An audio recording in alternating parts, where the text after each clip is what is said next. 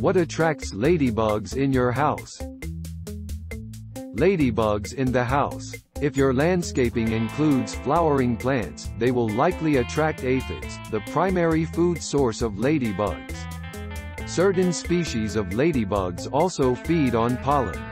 The pollen helps them store energy to help them through their winter hibernation.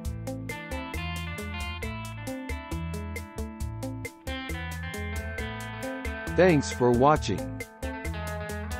Please subscribe.